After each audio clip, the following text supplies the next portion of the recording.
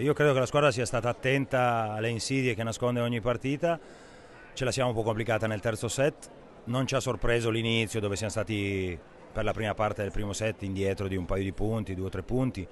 Sappiamo come sono le partite, sappiamo come sono eh, gli avversari e, e quindi sappiamo che per vincere sempre bisogna fare una buona prestazione.